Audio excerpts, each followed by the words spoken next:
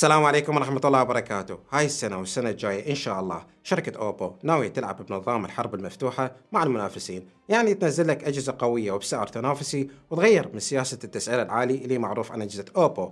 بس الخصوم من شاومي وسامسونج مغافلين عن حركات أوبو وأكيد مستعدين للمعركة.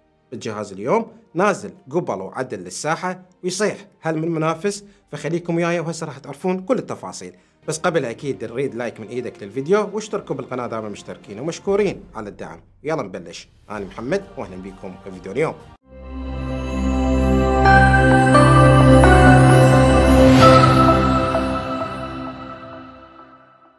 تليفوني يا أصدقائي هو الأوبو الأي 58 احدث تليفون من أوبو نزل للسوق العراقي. مواصفاته محترمة مقابل سعر ممتاز جدا بالنسبة لمعايير أوبو. سعر التليفون 149 دولار يعني تقريبا ما يعادل 225 ألف دينار عراقي حسب سعر الصرف. لحظة إعداد هذا الفيديو. فهل يستاهل تدفع بهاي الفلوس؟ هذا اللي راح نسولف فيه اليوم. فتأكد تشوف الفيديو للنهاية حتى تعرف كل شيء بالتفصيل عنه. نبدي ويا شكل التليفون. طبعا ملاحظ أني دائما وخلال تجربتي الطويلة إنه أجهزة أوبو دائما تتفوق على بقية أجهزة عالم الأندرويد بهاي الفئات السعرية. من ناحية الكواليتي ومتانه التصنيع. فإذا تجي تشوف ظهر ال A58 راح تشوفه صح مصنوع من البلاستيك بس ال finish راقي حيل ومصنعية ممتازة. وظهر طافي ما يخلي أثر البصمات أصابعك. والحواف هنا مو حادة وهذا الشيء راح يخلي مسكة التليفون مريحة بإيدك. وزنه ثقيل شوية مو من عوايد أوبو تقريبا 192 غرام. بس التليفون نحيف بسمك أقل من 8 ملم. طبعا هذا التليفون موجود بلونين. هذا اللون الأخضر الجميل اللي تشوفوه قدامكم واكو بعد لون أسود. بس الشيء المميز بالأوبو ال A58 إنه مقاوم رذاذ المي معيار ال IP 54 يعني يتحمل لك رش قوي بالمي بس مو غمر. هذا أفضل من ال IP 53 اللي موجود بمعظم التليفونات بهاي الفئة السعرية. وطبعا هنا عندك البصمة الجانبيه مدمجة ويا زر الطاقة أداها سريع حلو مثل ما متعودين عليه من أجهزة أوبو. الشيء الثاني المميز بالتليفون هي شاشته وصوته واللي تعتبر ممتازة. فئتها هذا التليفون إجانا بشاشة عملاقة بالفئة الاقتصادية flat. حجمها 6.72 إنش ودقتها full HD plus وطبعا نوعها LCD ولكن ترددها 60 هرتز فقط. هذا الشيء طبيعي بحكم فئة الجهاز السعرية.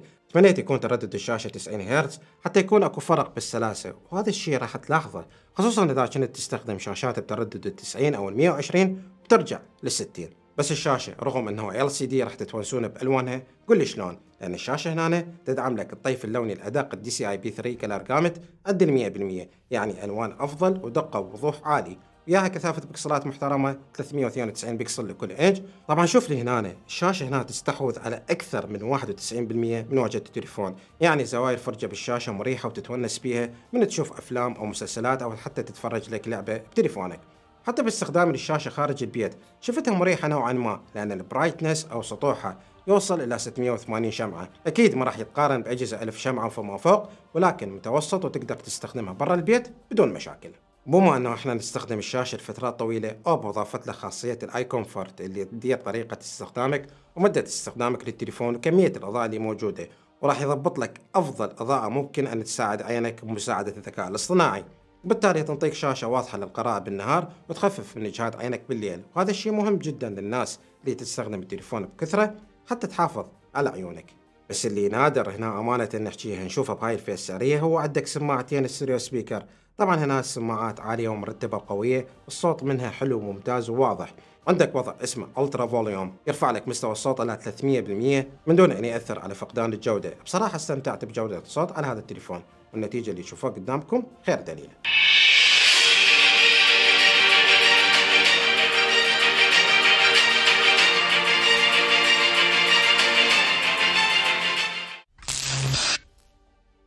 نجي على جانب آخر ممتاز بالتليفون هي بطاريته. أوبو معروفة واحدة من أكثر الشركات اللي تعتني وتهتم بالبطارية وتنطيك دائما أداء قوي. ما عدا عن بطاريته العملاقه اللي قدرتها 5000 ملي أمبير فالموبايل هذا يدعم لك شحن سلكي سريع SuperVOOC بقدرة 33 واط. طبعا إحنا نشوف أجهزة flagship واسعارها فوق ال 1000 دولار ما وصلت لهذا الرقم مال الشحن.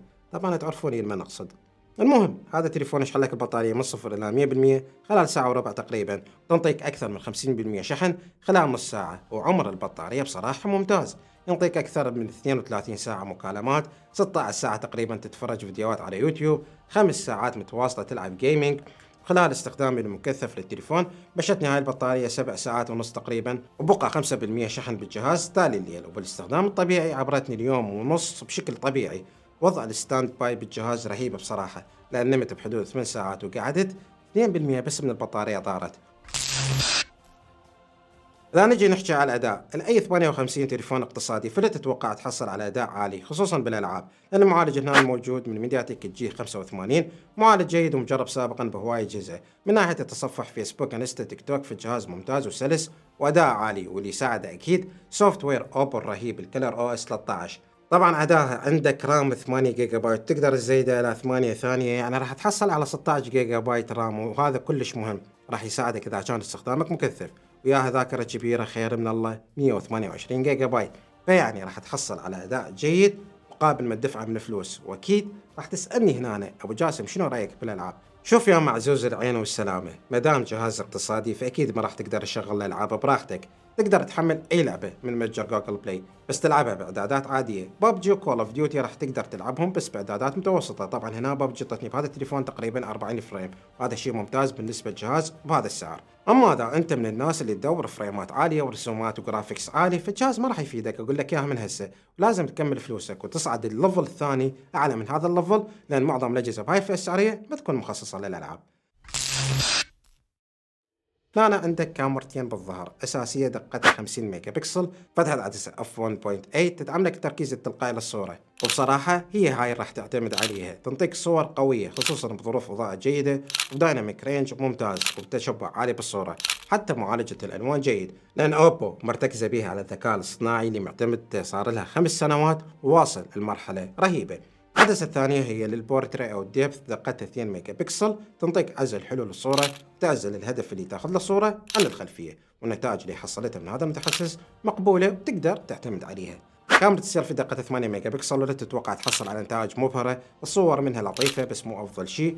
تطلع لك بلقطات حلوة وتعتمد على الوضع اللي تأخذ فيه الصورة والإضاءة المحيطة بيك. بالنهاية أصدقائي الأوبو ال A58 يقدم لك خلطة محترمة من المواصفات مقابل السعر. لكن تدور على تليفون. جودة تصنيعه مرتبة وقوية شاشته وبطاريته عملاقة وذاكرته عالية وأداءه مستقر ودعم ثلاث سنوات تحديثات أندرويد وأربع سنوات تحديثات أمان. فأكيد أشوف هذا الجهاز هو خيار ممتاز وعملي موجود بهاي الفئة السعرية. بس إذا أنت جيمرتشي وتريد تشغل بيه الألعاب القوية وتريد فريمات عالية فأكيد ما راح أنصحك بيه وأقول لك روح شوف خيارات غيره. لكن هي تبقى رغبتك واختيارك بالنهاية. هذه كل ميزات وعيوب الجهاز أمامك. شوف شنو اللي يناسبك وبعدها قرر. شكرا لكم وشكرا حسن متابعتكم. لا تنسون تتابعونا على بقية صفحاتنا. كل الروابط تلقوها بالوصف أسفل هذا الفيديو. وشوفكم إن شاء الله بالفيديو الجاي بخير وصحة وسلامة. في أمان الله.